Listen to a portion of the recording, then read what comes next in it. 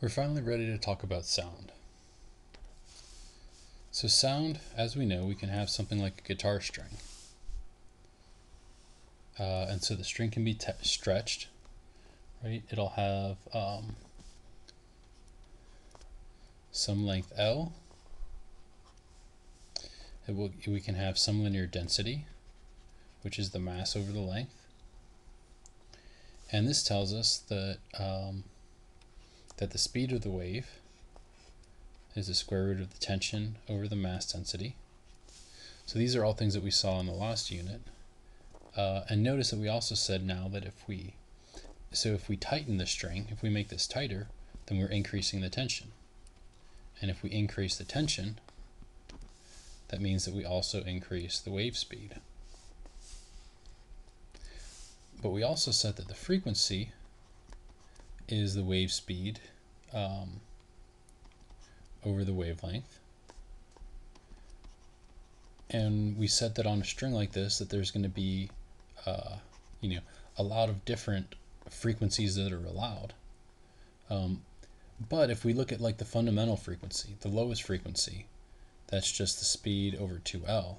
L is fixed, so it means if we're tightening the string, it means that the frequencies, the frequency you know that we have available, especially the fundamental frequency, is going to increase. So we're increasing all of the frequencies of our spring of our string um, by tightening it, and of course loosening it, it's going to make it lower.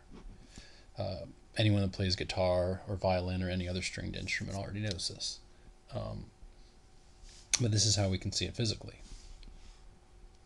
Of course, we don't actually hear sound from a, from a string.